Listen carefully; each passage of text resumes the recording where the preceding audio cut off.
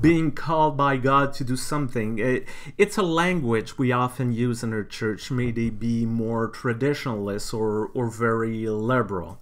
In United Church, for example, we don't hire minister. We're calling minister, and minister feel called to certain ministries.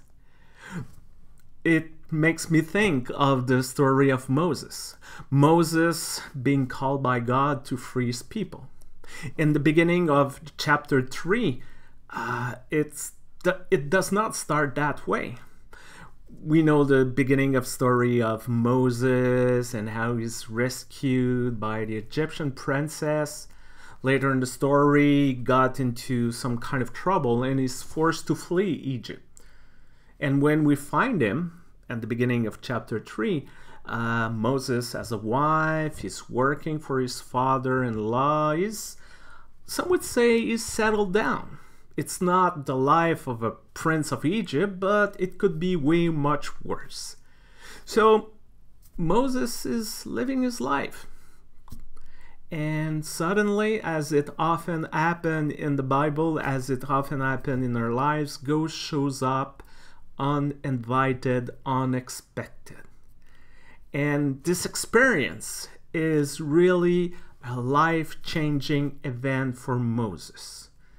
Because the call he received is, like I said, to free his people, to go back in Egypt, to confront Pharaoh, and to challenge one of the most powerful empire of the ancient times. And it's it's not something trivial, I would say if Moses knows that if he say yes, everything will be different. It's not the kind of things that you show up in front of Pharaoh and said, "Let my people go," and then when Pharaoh say no, he said, "Yeah, whatever, just kidding, forget it." No, it's something more profound, deeper. Like I said, completely change of life.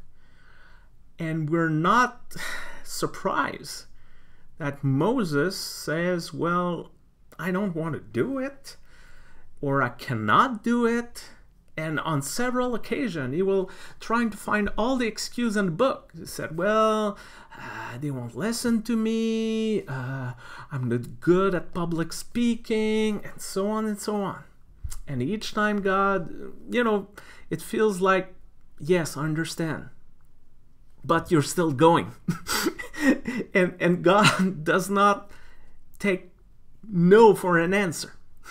Still reaffirm over and over Moses. And when we, this we come back to us, um, it might not be always spectacular and, and dramatic like in the case of Moses, but I still believe that each and every one of us is called to do something in their own way, to, to be involved in this world could be different kind of ministry. It could be ordained ministry lay ministry music ministry uh, to be a pastoral presence. That's a ministry. To teach children that, that's a ministry too. So there's there's so many things. And sometimes um, we're called to do something that we did not thought about it or that's not necessarily our first choice or we might be tempted to ask, why me? Why me? You know, I'm not Mr. Big Shot or Mrs. So Important, so why me? And from the story of Moses, we discover that that question is almost irrelevant for God. Because the answer is because there's something that be that need to be done. So why not you? That's that's the answer to this question of why me.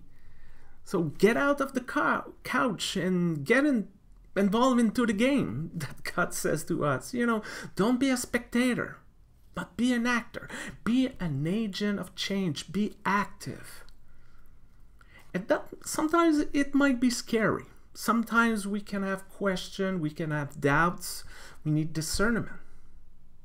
But through the story of Moses, we have the reminder, a very powerful reminder. God saying, I will be with you every step of the way. So we're not sent to ministry and God said, goodbye. No, said, yes, I'm asking to do something, it might be asking a lot. But uh, you're not going to be alone. I'm going to be there with you. And that's a very powerful message we get from the story of the call of Moses. Once again, thank you for watching. I remain Reverend Stéphane Vermette, the lectionary man, and until next week, take care of yourself and bye bye.